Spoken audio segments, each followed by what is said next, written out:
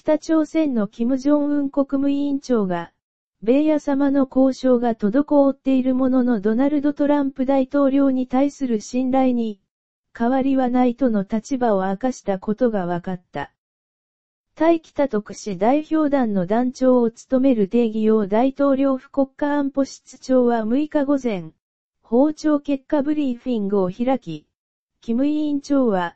トランプ大統領に対する自身の信頼に変わりない、と話したと明らかにした。また、提出長は前日の面談で、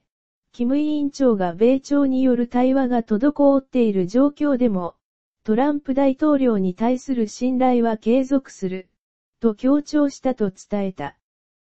キム委員長の信頼を基盤に、トランプ大統領の任期内に米朝70年の敵対関係の歴史を終え、非核化を実現したいとの希望を話したことも明かされた。